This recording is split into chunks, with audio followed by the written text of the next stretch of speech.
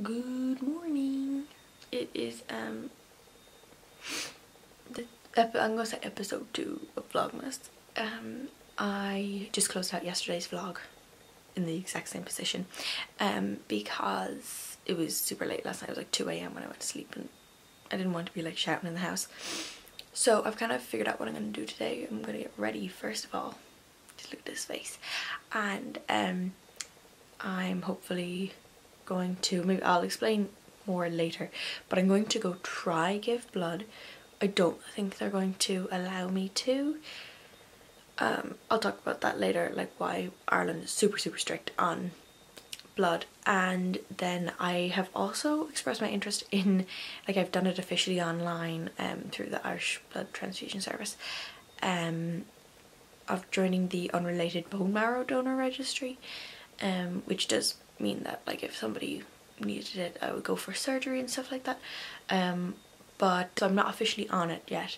I've just expressed I've just expressed my interest I need to wear my retainer I can't talk properly. Uh, I didn't wear it last night. Um so my voice is so I hurt my voice the other day. Um so I'm gonna try and do that. I'm also gonna try and shop for Christmas presents um in town and decorate for Christmas and get a couple of things done because it's a fun day off. I'm gonna get ready for the day and we'll just get moving. Slight change of plans, and more so addition to plans. Before I got ready, so you have to eat a bunch as well before you can give blood, especially you have to kind of say it to convince them. Um, if you're under a uh, female under 26 and under like five four or something, which I am definitely under, but um, I went downstairs, I was petting my dog. My dog is super old. I've probably, I've met, I've definitely mentioned her before in videos, but she's 12 um, and she has like kind of a chronic virus thing. Uh, it gives her loads of papillomas, really gross, uh, but not that gross, okay. But um, it is really gross because she's had this really big one and it bust during the night obviously. I just noticed, my parents obviously didn't notice this morning when they left for Dublin. Sorry, my camera's really heavy. I'm doing this with the DSLR. Um, so I called the vet. I'm to be bringing her at 5. So I was going to go into town after trying to give blood even though I'm not I know that they're gonna turn me away so but but I think I'm gonna try and go in now just so I can get a few things. Um, I have to get like random stuff like conditioner, what a glamorous life I live. But I'm gonna try and do that now um, so that I can bring poor Sparkles to the vet. So I'm just about to head out now, but I just thought I would show you the lip colour I'm wearing today. I'm wearing the Too Faced Melted Matte in Pumpkin Spice. It's part of that um, Christmas collection, which I actually just got like two days ago because my mom was getting it for me for Christmas and I was like, but I, I would love to wear the colours in the run up to Christmas. We got it a couple weeks ago and she was like, okay, you can have it on December 1st. So that was three days ago. So I've also worn hot buttered rum and that was really nice as well. It's quite dark on someone as pale as me, but I really like this one. I'd say this is my favourite so far. Um, yeah, so I'm just gonna head into town now. Can we just take a moment for how freaking long my hair is? It's so funny looking at me with the DSLR, but look how freaking long my hair is. Like, what? What? Look how long it comes down at the front. Oh my god. Does this mean I'm gonna get a haircut? Absolutely not. but um, yeah, looking cute. Obviously I straightened it. But um, yeah, just thought I'd thought I'd share. The lighting is so bad in here because winter sun. Is this just in the like the northern hemisphere or what? My double chin coming out to play.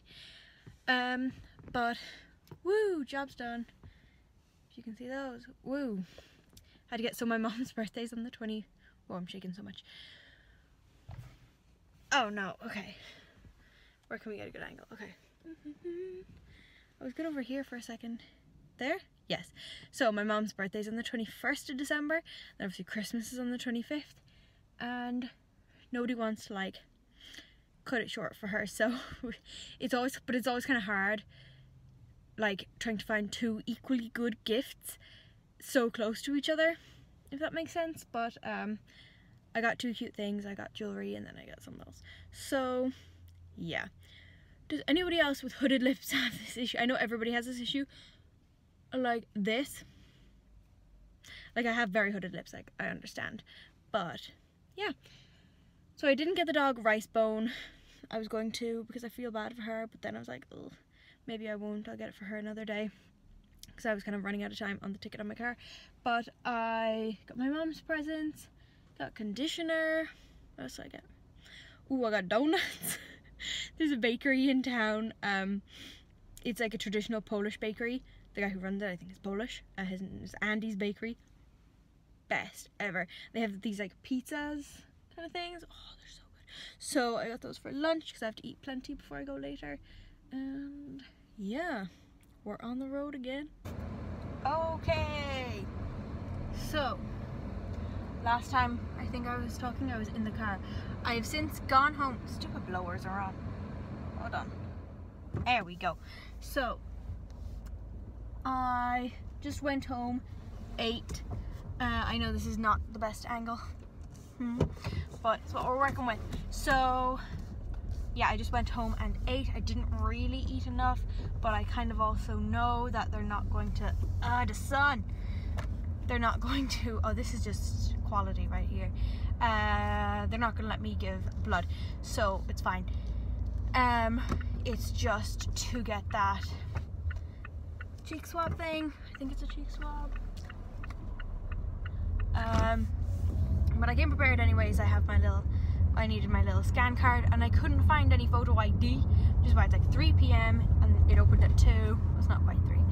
But uh, I was hoping to be there earlier. But myself and my brother were also looking at memes. So, but we're on our way. So, yeah, I said I would talk about like blood donation in Ireland. We're really strict compared to other countries, is what I believe. Um, so I really minorly changed my prescription. Um, I'm on the pill for acne, and I went onto another like stronger kind of dose. It's just different. But um, last week, which means they're probably going to turn me away. Uh, also, there's loads of travel restrictions. Uh, a huge part of it is that we don't have I can't remember what it's called. The nickname is mad cow disease. Um, it happened in the 1980s, I believe, in uh, sorry, very large oil truck. Um, in England, and a lot of Irish people lived in England uh, at that time. So basically, we don't have that in our blood sample stream or whatever because it was never really in Ireland. So if you lived in England during those years, you can't donate. There's loads of restrictions. Uh, there's certain restrictions because I'm under 20. I'm a female under 26, which means I'm more prone to fainting. Apparently, uh, it doesn't affect me at all giving blood. So um, I'm always fine in that regard.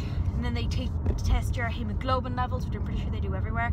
But um, I was at bang on hemoglobin levels, like 14.5 if you were curious, and I'm a vegetarian, so, um, but yeah, basically there's loads of restrictions, and you know, you can fail on the day, they can turn you away on the day, and you might wait up to two hours. Well, actually, I've waited two hours and 15 minutes last time um, to like be seen, and that was just a busy time. This is like the daytime session because it like travels, it's not a stationary one. Excuse me. So it's like five till eight or something the next couple days so I can always go back if they need something else to take that cheek swab that's why I'm doing it today but it's two till five I think today and at five I think I said before I have to bring my poor doggo to the vet so I need to be out of there Okay, so I'm parked now and I parked like away from the rest of civilization because I'm driving my mom's car, which is why it's a bougie car. Um, I don't have a car. So, yeah, hopefully they take me. I really don't think they will donation wise, but even more hopefully they let me join the bone marrow registry because I won't be able to do this for ever basically if I don't do it now so fingers crossed and I'll try and get some sneaky footage in there. I've recorded stuff in here before um, always giving my friend info so uh, I'll be able to sneakily record hopefully but let's hope I'm not here for too long.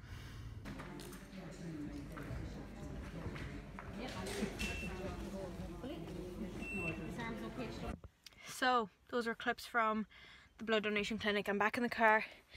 It's like almost 5 p.m. Sparkers with the little nug. Hey honey. And um yeah, I'm mad as hell. I absolutely just had a fucking meltdown in the car, which I will talk about later while I word an angry email. So stay tuned for that.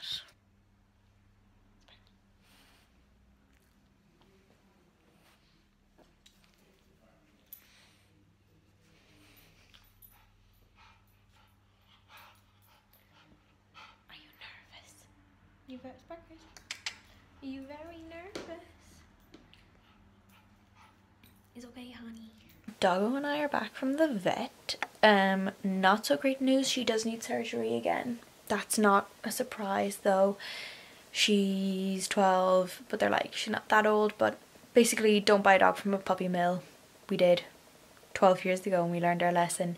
Uh, she has a type of, it's like HPV but in dogs basically.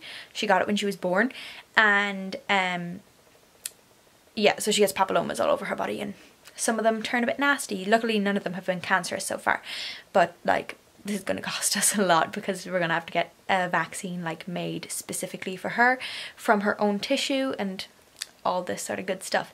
So this is at a terrible angle, like it's down really low, but uh, it's a way that I can like rest my arm. So now that I'm calm, you probably saw in a clip when I was bringing the dog to the vet that I was I probably said I was really annoyed or I was really upset. I didn't film when I was leaving the blood donation clinic because I had a pure fucking meltdown in the car. So as I had said before, I was going, I'm not going to cry. Uh, I was going to the clinic because I was going to see if they would, you know, take my blood, which they did. But um, it was really because I wanted to join the I got cut off because my memory card was full. So, I wanted to join the unrelated bone marrow donors registry. Um, and this was not like a decision I had taken lightly. I've been thinking about it for a long time. And then in, I'd say it was the last time I donated, which was in August. Um, this was like the soonest I could donate again. I, like as soon as I went home, I looked more into it and decided that I would do it and I registered my interest then. Um, yeah, that was like, was it even before then? It was, it was quite a while ago. And um, so, sorry, my family's making noise downstairs. And so when I checked in, I said, you know, blah blah blah, and I was having chats with your man. I said, I'm looking to join join the bone marrow donors registry. What do I need to do? He was like, oh great, talk to the person in the like interview office, the nurse in the interview office. And I was like, okay, cool. So you know, if I don't know what it's like in other countries, but you know, you sit there and you wait and you check in, and then you sit there and you wait. You tick all the boxes in your paperwork thing that you have to do every time that you go there, and then they call you in for the little interview and they test your hemoglobin levels. And I already took off my plaster because fuck it. So I keep getting interrupted. I was going on about. He said, talk to the nurse. And I said, okay. And then I was talking to the nurse and I told her. And she was like, okay, I'll talk to Michael, whoever the fuck Michael is. And then she came back and I was like, okay, cool. Is that all good then? She was like, yeah, that's all fine. We'll figure that out. I said, okay, great.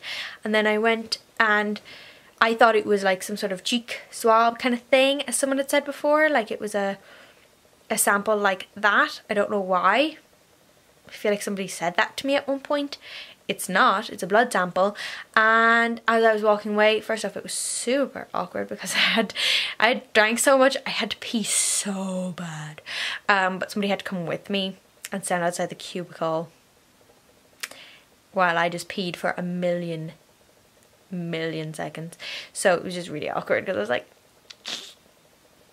this person listening to me pee. Then when I was leaving, she was like sitting me down, you know, the, like kind of quote recovery table even though I feel totally fine except like a little bit cold and a little bit want to take a nap, uh, I asked her, I was like, oh, you know, I, I had spoken to people earlier about joining the registry and how to do that. And she's like, oh, you should have said. And I was like, I, I did say, um, I think I said it to one of the people taking my blood as well, um, as the first two.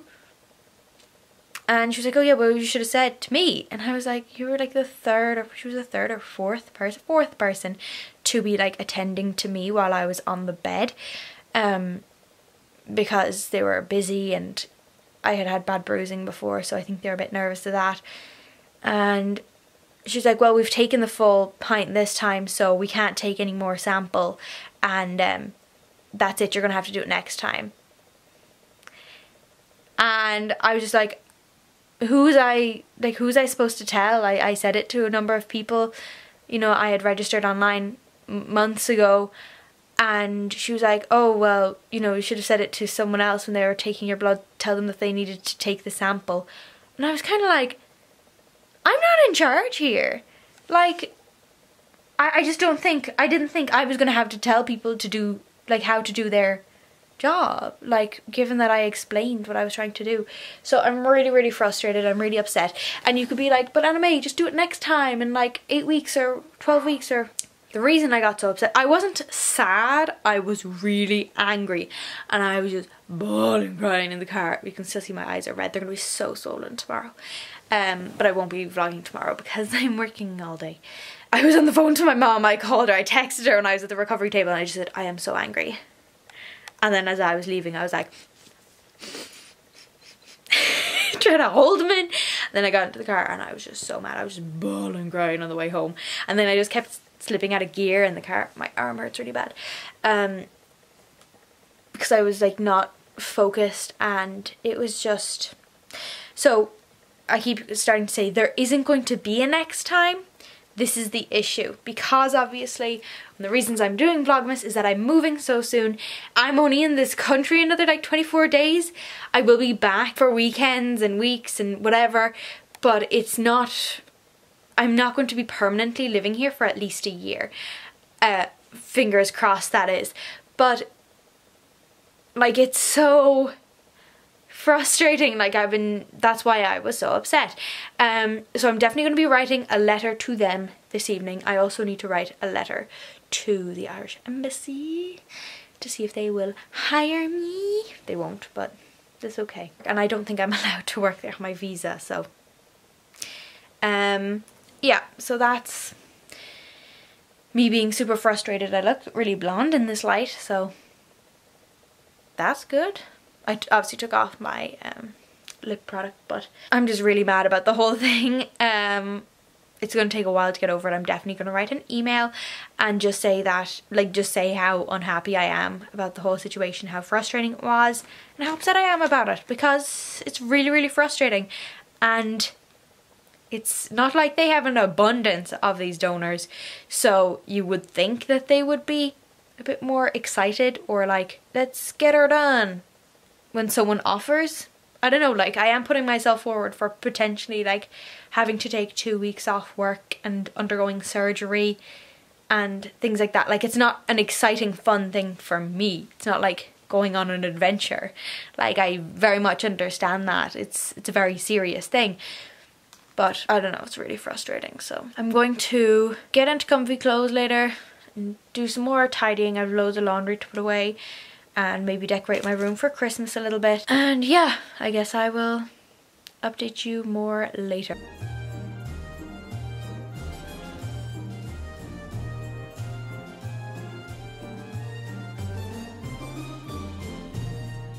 that is basically it for today's vlog. I just thought I would close it out. It's like not that late. It's only 10 past 8 but I'm basically just going to be editing. Uh, I did a bit of cleaning but I'm just gonna be like trying to get my life in order this evening. Um, I have to draft emails, exciting stuff like that. One of them is is to uh, the Irish Blood Transfusion Service, so that should be fun. But yeah, there's my plaster. Um, but I hope you enjoyed. Today's video. If you did, be sure to give it a thumbs up and subscribe to my channel to see the rest of Vlogmas. Um, also this t-shirt said, says Lara Glum and you don't speak Irish to me today though because I'm very bad at Irish. So I hope you enjoyed. Um, tomorrow's video will not be a vlog. Uh, it's going to be a makeup declutter, I believe, and that's that. As I said, there's going to be some days when I'm working full days and it's it just doesn't make any sense to do anything otherwise because especially all those days my friend is also my two best friends don't live around here and um, one of them is still in London until the day after my last day of work. So there will be plenty of videos coming up then especially at that stage it'll almost be like packing time which is scary but that is it for today's video and follow me on Instagram at annamae.yt to see more from me, my everyday life and much more outfit kind of stuff on Instagram. But yeah, that's where to find me and I will see you tomorrow.